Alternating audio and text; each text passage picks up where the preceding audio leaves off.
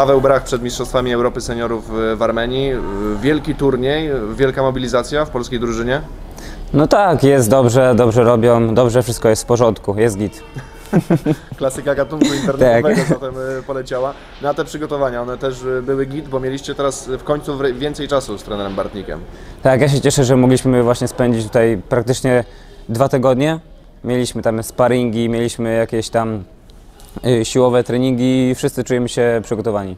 A po drodze były jeszcze jakieś występy międzynarodowe, które też myślę są niezbędne przed takim turniejem. No tak, tak jak właśnie mówiłem, w Chorwacji tego brakowało, brakowało tych sparingów, brakowało wyjazdów. Tak teraz mieliśmy turniej na Litwie, mieliśmy turniej w Czechach, y, z bardzo mocnymi rywalami walczyliśmy, mieliśmy też sparingi, więc y, teraz nie ma co narzekać i lecimy z tematem. Wizualizujesz sobie już e, ten turniej, czy ty raczej dopiero na bieżąco, kiedy jesteś na miejscu, to zaczynasz jakąś większą kalkulację? No Dopiero jak jestem na miejscu, tam zaczynam się bardziej skupiać, wtedy czuję te, te emocje i staram się za bardzo nie stresować przed, co nie? No, Jesteś młodym chłopakiem, ale, ale bardzo utalentowanym, to, to jedno nie ulega wątpliwości i warto byłoby ten talent e, w Armenii pokazać na tle na pewno wymagających rywali. No tak, y, to są moje pierwsze Mistrzostwa Europy seniorskie, tak?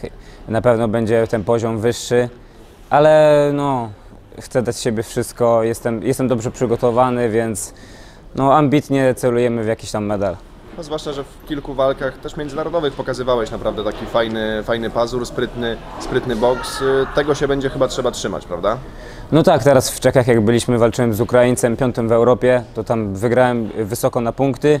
W finale miałem jednego z najlepszych zawodników na świecie, Brazylijczyka.